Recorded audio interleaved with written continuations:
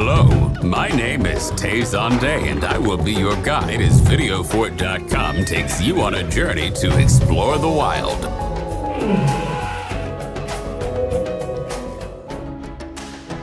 Water buffalo, also commonly known as the Asian buffalo, are comprised of two subspecies.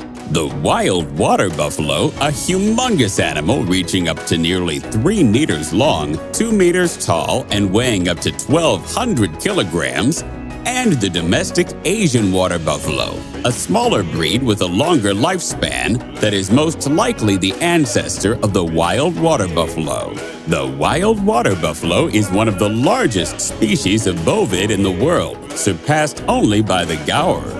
Wild water buffalo are well suited for tilling rice fields as they thrive on aquatic plants such as reeds, giant cane, bulrush, water hyacinth, and marsh grass, tall flowering plants. Some of these are of great value to locals, while others are a major problem in tropical valleys, which are kept clear by the water buffalo.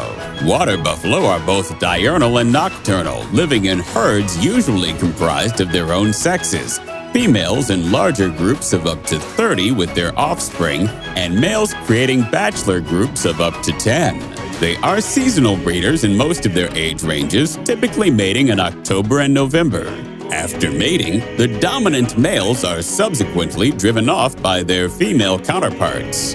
The female's gestation period lasts 10 to 11 months with an interbirth interval of one year. Sexual maturity in males is 18 months and 3 years of age in females. Their maximum known lifespan is 25 years in the wild. The wild water buffalo was first classified as endangered in 1986. The remaining population today continues to decline due to the large amount of interbreeding with feral and domestic buffalo, the loss of their habitats due to agriculture and hydropower development, disease spread by domestic stock, the degradation of wetlands due to invasive species, and hunting. The estimated global population of wild water buffalo is now 3,400 individuals, with a projected decline of 50% over the next three generations.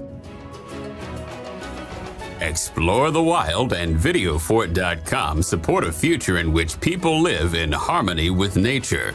All footage for this episode was provided by Videofort.com and is currently available for purchase.